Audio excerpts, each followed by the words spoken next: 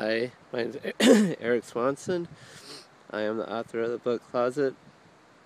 As you can tell, there's some paranormal aspects to my book. You can read an excerpt.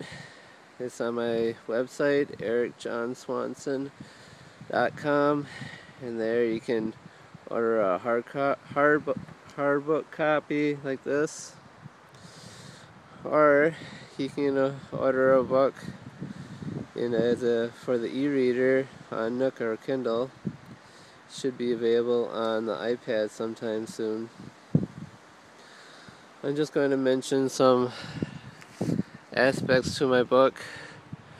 Uh, one thing I want to mention now that it's Halloween is I have a witch in my book.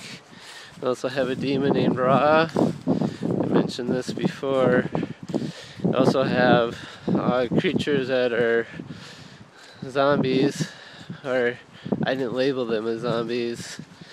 They there are our followers, or they have been deceived by the demon named Ra and, and the witch in this book.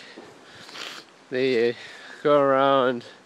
They have basically they have no blood within them. Their blood has been taken out they can't see, their eyes have been taken from them because Ra and Sally have this, well, Ra in particular has this belief that he needs, that he's in darkness, or he knows he's in darkness, and he needs other people's eyes so he can get out of the darkness that he's in.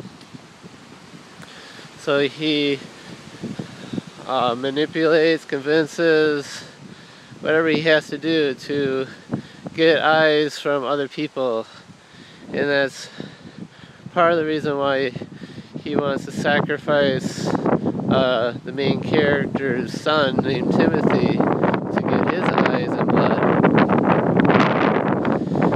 And I, all that just to say that we could be living in darkness as well. We may think that we can see, but in reality, that if we're following the world and the things of the world, then we're living in darkness as well. We may think that we're living an abundant life of parties and sex and drugs and whatever else is out there that the world has to offer us, but in reality, all that fails in comparison to what God wants to give us through His Son,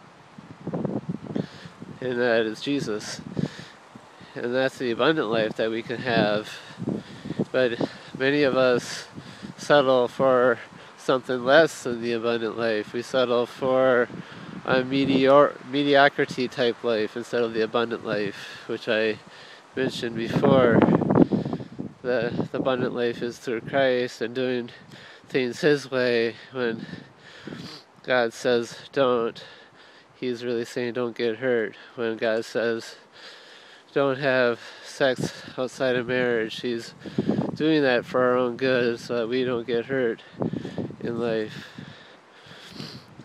It's hard to understand that at times, especially with what the media tells us, what sitcoms tells us, what we've been hearing our whole lives. But if we want to live a life of no regret, of one that we're not ashamed of, then God's way is always the best way.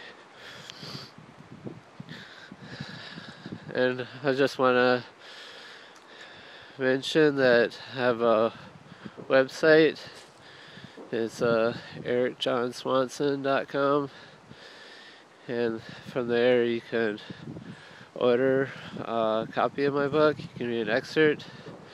It's available on Nook and Kindle, so I encourage you to look at those options. And I'll leave for now. Thanks.